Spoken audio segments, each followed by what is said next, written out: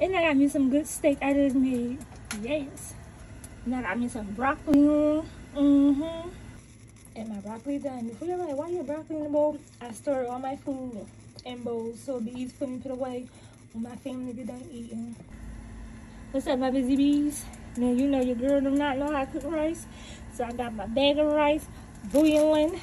Yes, yes.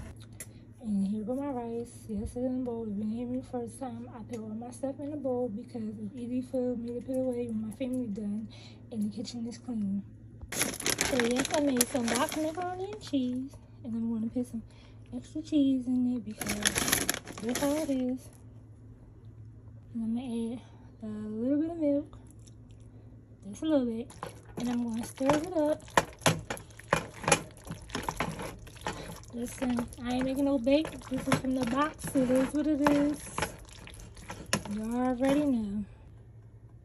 Now look at that.